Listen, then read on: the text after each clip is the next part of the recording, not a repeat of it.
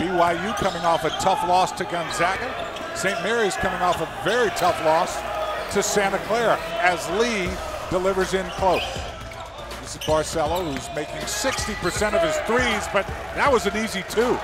Well, he's got so much experience now. He knows how to keep the defender on his hip, and that was a good example right there. Keep the defender on the hip, get all the way to the rim.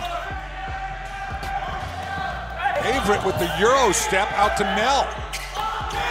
And Trevin Knell with his first start and his first hoop.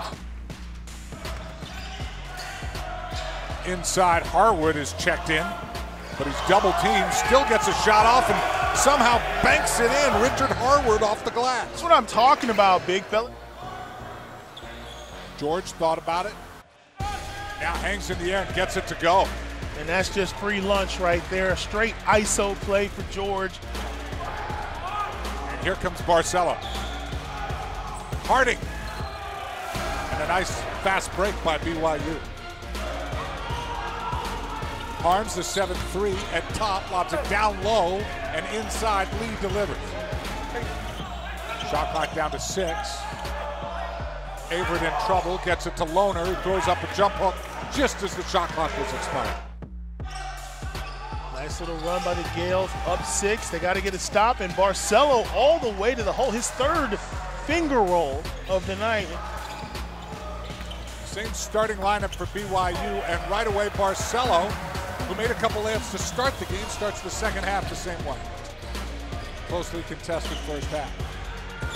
Going right back to the block, little crab dribble, drop step, free lunch all night long. Are you hungry?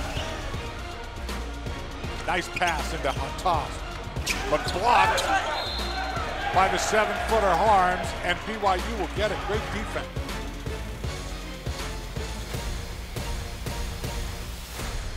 Just take them yourself. Averette counters the other way. Wow, little payback right there, a little one-on-one. Barcello back into Harward. And Harward inside and count it. Right here, you see the strong step through. This is exactly what you want out of your bigs. Go get it, be strong, get a good base, take it to the rim, and you see the and one.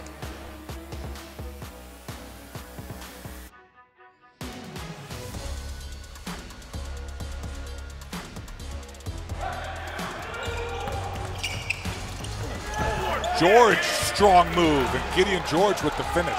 He waits for Tass to roll. Nice pass. Tass waited too long, and Haarms was there to swat it away. Kuhse with a beautiful Ooh. pass, but you can't hesitate, and after that, just a block party. Shot clock down to six.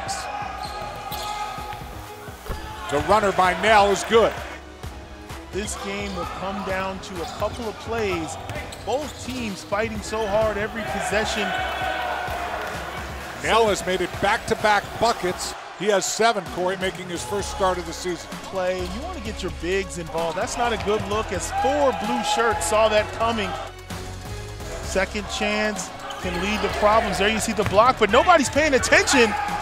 He got it back and scooped it in. Gotta have eyes on the ball. When the quick pass, the rotation.